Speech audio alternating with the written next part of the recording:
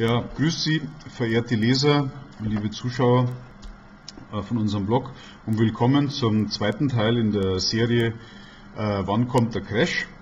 Ich bin Martin Schweiger aus Singapur, neben mir ist jetzt Gero Fuchs aus Pforzheim und äh, wir haben uns in der ersten Sendung, also im Teil 1, dann mit den Grundlagen beschäftigt, wie ähm, beschreibt man exponentiell wachsende Systeme und äh, die Grundlagen werden jetzt äh, noch weiter vertieft, indem wir uns ansehen, wie äh, das Geldsystem äh, in, insbesondere in Europa jetzt genau funktioniert, weil um eine Abschätzung zu geben, was an dem System dann zum Zusammenbruch führt, muss man natürlich das System erstmal ein bisschen kennen und damit man dann schon damit man herausfinden kann, was man dann mit an dem System beobachtet, wenn es dann crasht. Und ähm, das Wichtigste an unserem Geldsystem oder die zwei wichtigsten Eigenschaften sind einmal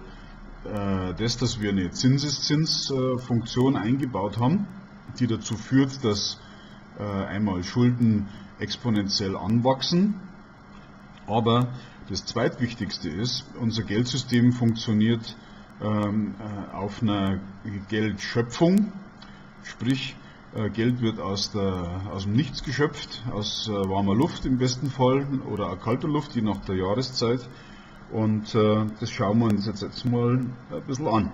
Und zwar, bei mir auf der Homepage gibt es ähm, einen Artikel, der beschäftigt sich damit, also und zwar mit dem Mindestreservesatz. Es gibt auch mehrere Artikel dazu, aber der allerletzte, äh, den habe ich, äh, der, der hat diese Grafik hier. Wir haben hier oben auf die Zentralbank und da unten haben wir eine, auf der Seite haben wir eine Bank. Und diese Bank, die hat erstmal kein Geld in der Kasse oder nur ganz wenig, weil die Gründer haben nicht so viel eingelegt. Und zu der Bank kommt jetzt da der, der äh, Kreditnehmer der will sich einen LKW kaufen für 100.000 Euro und macht jetzt mit der Bank einen Kreditvertrag. Und äh, obwohl die Bank das Geld noch gar nicht hat für den Kreditvertrag, kennt die aber jetzt jemanden da oben in der Zentralbank.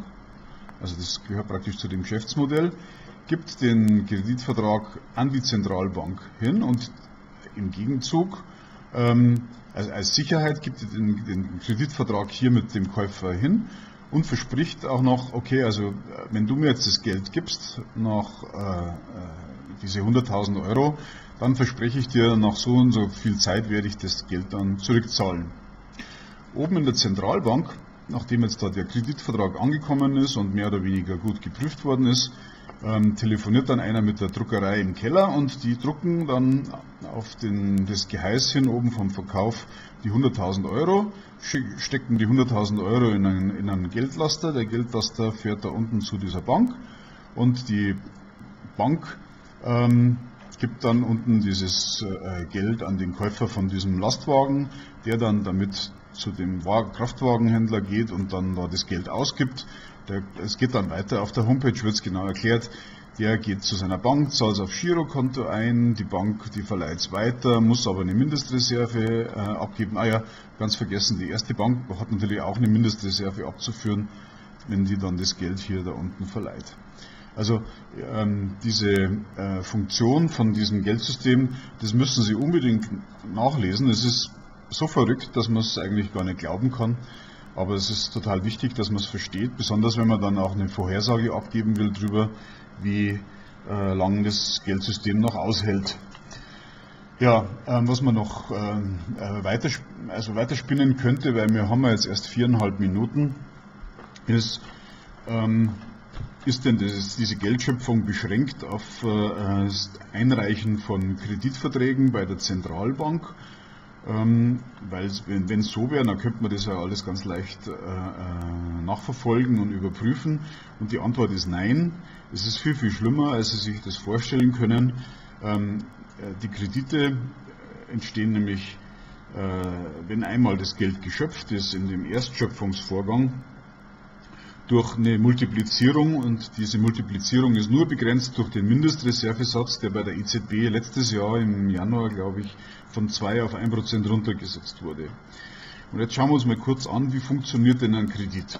Also jetzt, ich sage Ihnen mal, wie ich mir das immer vorgestellt habe. Früher. Also, ich habe mir immer vorgestellt, da gibt es eine Oma, die kriegt Rente und trägt immer, weil sie nicht alles verleben kann, die Rente auf die Bank. Genauso der kleine Fritzi mit seinem Sparschwein kommt am Weltspartag immer zur Bank und wenn das genügend Omas und Fritzis machen, dann sitzt die Bank irgendwann mal auf einem großen Sack Geld im Keller.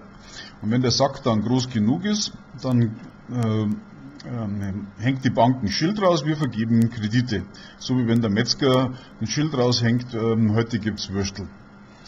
Und dann bewerben sich also dann da herüben insgesamt sieben Leute um, um diesen Kreditsack der da, oder diesen, diesen Kredit mit dem Sack Geld, der im Keller ist. Und äh, dann geht die Bank her und prüft genau, weil die muss ja schließlich was tun und dann kommt raus, dass von den sieben äh, Bittstellern ähm, sechs eigentlich ungeeignet sind und der Beste, also der mit dem geringsten Risiko und der die meisten Zinsen zahlt, ist die Nummer 3. Hier die Nummer 3. Und die Nummer 3 kriegt dann letztlich dann dieses vom Fritzi und der Oma angesparte Geld und muss es dann noch mit Zinsen und Zinseszinsen wieder zurückzahlen, damit dann die Bank, die Oma und den Fritzi auch Zinsen aufs Sparbuch gut schreiben kann. So habe ich immer gedacht, dass es ist. Ist aber ganz anders.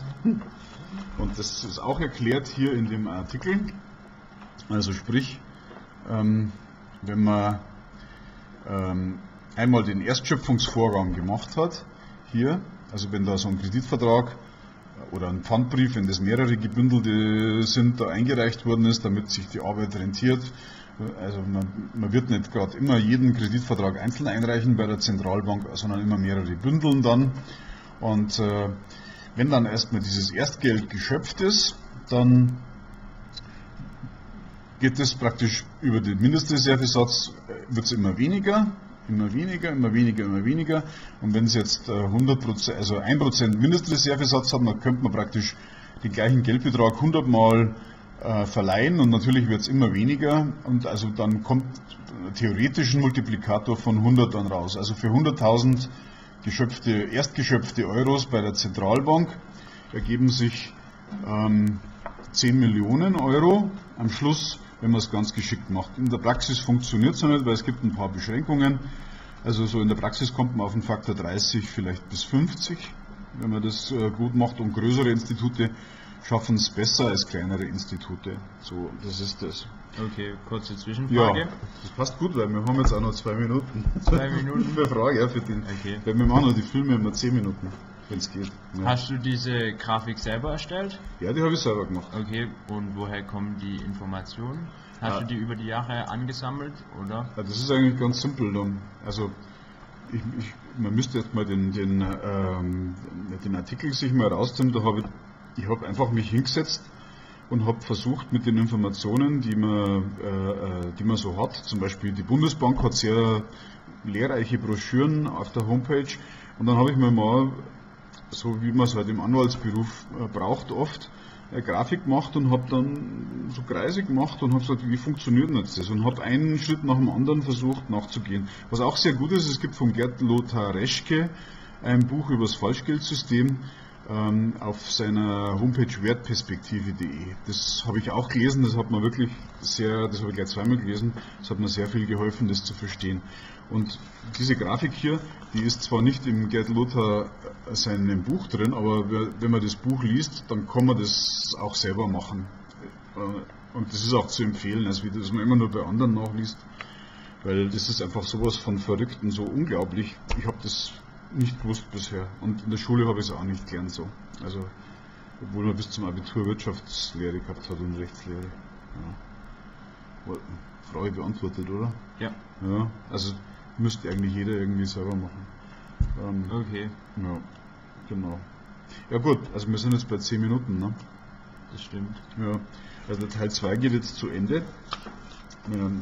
Ich habe ein bisschen was äh, vorbereitet, also das haben wir jetzt erledigt.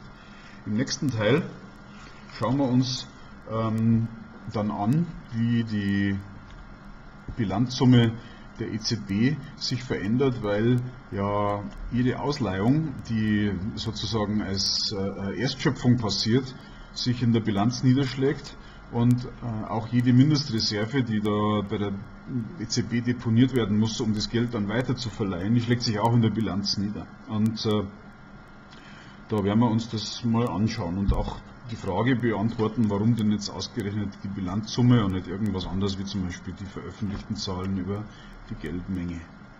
Ja, also vielen Dank fürs Zuschauen und bis zum nächsten Mal. Bis dahin. Hm, genau.